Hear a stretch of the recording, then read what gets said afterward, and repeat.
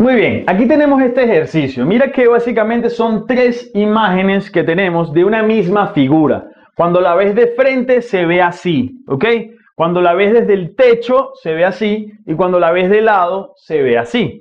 Entonces, basado en esta información, que son tres vistas del mismo sólido, ¿cuál es el volumen de ese sólido? Mira que las eh, dimensiones, vamos a suponer que son centímetros, y estaríamos hablando de centímetros cúbicos, ¿ok? ¿Cuál sería el volumen de ese sólido? Pausa tu video, analízalo y vamos a empezar.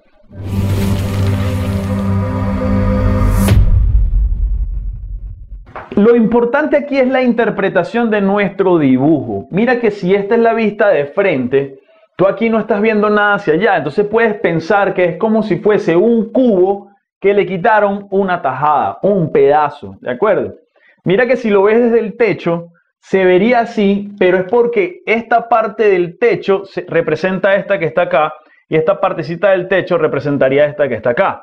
Si lo ves de lado, mira que se vería de esta forma por lo siguiente. Si lo ves desde acá, tendrías esta representación que sería como que la pared que vamos a ver aquí y esta acá sería como esta pared de acá.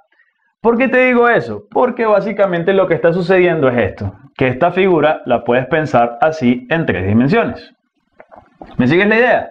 Si la piensas así en tres dimensiones, si la ves desde el techo, mira lo que te está diciendo que si esto mide 5, es porque la distancia que hay de aquí a aquí sería 5. Si todo esto mide 8, este mediría 3. ¿Sí? Luego, cuando la ves de frente, mira que si tú agarras esta cajita y la ves así de frente, tú vas a ver un cuadrado, una especie de, una distancia, una dimensión más grande que otra, pero esto, cuando lo ves así de frente, vas a tener esta mirada. Por lo tanto, podemos sacar conclusiones que si esto mide 3, esta distancia es 3, esta distancia aquí es 3, por lo tanto esto es 5.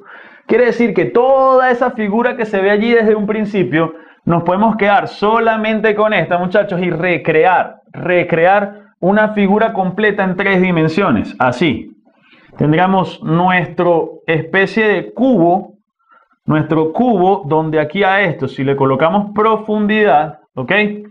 Al final se está quitando esta tajada. Entonces puedes pensar que son, es un cubo completo, ¿sí? Que se le está restando básicamente esta cajita que se ve aquí. Entonces tú puedes pensar esto para calcular el volumen de la figura que necesitamos. ¿Me sigues la idea? Mira que esta figura que tenemos acá es como si tuvieses el cubo completo, la caja completa, pero le vas a quitar ese paralelepípedo que está allí. Entonces el volumen de la figura al final sería una forma directa, rápida y práctica de calcularlo. Es el volumen del cubo completo que sabemos que mide 8 por 8 por 8. ¿Y cuánto mide esto? Esto mide 3 por 3, ¿sí? Esta distancia es 3 por 3, por lo que vimos en, en, la parte inicial. Y esta distancia, que es la profundidad, serían 8. Entonces, ¿qué vamos a hacer? El volumen del cubo completo, que sería 8 elevado al cubo, el volumen de esa figura sería calcular el volumen del cubo completo menos el volumen de la caja, para, verlo así. Sería el volumen de lo que nos están pidiendo, un plan de acción. Entonces, el volumen de ese cubo para nosotros será 8 elevado al cubo y le vamos a restar ¿quién? 3 por 3, 9 por 8, 72. Serían 72, todo esto en centímetros cúbicos, ¿de acuerdo? ¿Cuánto es 8 al cubo? Tú sacas la cuenta. 8 al cubo sería 8 por 8, 64 y 64 por 8. Veamos cuánto daría, ¿no? Eso da 512. De hecho, puedes pensar el 8 al cubo así, mira. Si el 8 es 2 a la 3, ¿sí? Si el 8 es 2 a la 3, el 8 que está elevado al cubo, esto estaría elevado al cubo, y 8 al cubo es lo mismo que 2 a la 9. Y 2 a la 9 tendrías que ir multiplicando. 2 a la 6 es 64, 2 a la 7 es 128, 2 a la 8 es 256 y 2 a la 9 es 512. Entonces a 512 tendrías que restarle 72. Son maneras de pensarlo y de trabajarlo, ¿de acuerdo? Entonces, para nosotros aquí, el volumen de lo que estamos buscando serían, atención, 512 centímetros cúbicos que le vamos a restar 72 centímetros cúbicos. Y hacemos esta resta. ¿Ok? Puedes pensarlo así, quítale 2 primero, daría 510. Quítale 10 más, daría 500. Ahora quítale 60. ¿Cuánto da? 440. Por lo tanto, el volumen de nuestra figura completa serían 440 centímetros cúbicos. Esta es la forma A de trabajarlo, ¿de acuerdo? Es una, una manera de resolverlo. Pensar la figura así, ver el volumen completo de la caja, que es 8 al cubo, menos el volumen de esta cajita, que es para que quede en este espacio vacío. Ahora, esa es una manera. La otra forma es pensar esto de esta forma.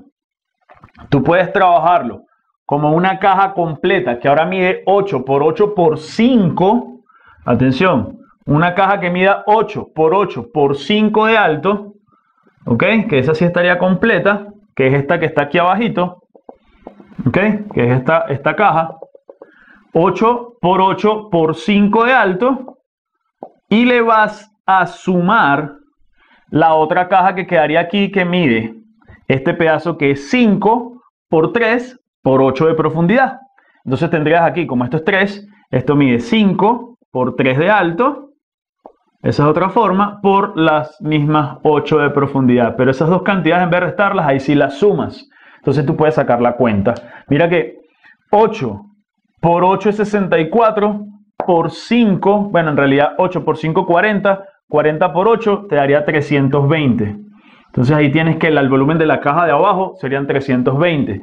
Y le tienes que sumar el volumen de la caja de arriba, que es 5 por 8, 40 por 3 daría 120. Mira que si lo sacas por aquí, 320 más 120 también te darían los mismos 440. Entonces el volumen de la caja de abajo, el volumen de la caja de arriba. De esa forma puedes trabajarlo como estas dos cajitas, ¿sí? Esta y esta que se estarían sumando. Al final lo puedes pensar como dos cajas que se suman o como la caja completa que le restas esta en azul, que lo hicimos por acá. Dos maneras diferentes de pensarlo y mira cómo se lleva unas vistas laterales, frontal y, de techo de una figura a algo en tres dimensiones para que tú puedas calcular el volumen. ¿Te gustó? ¿Entendiste? Nos vemos en el siguiente ejercicio, pues. Chao.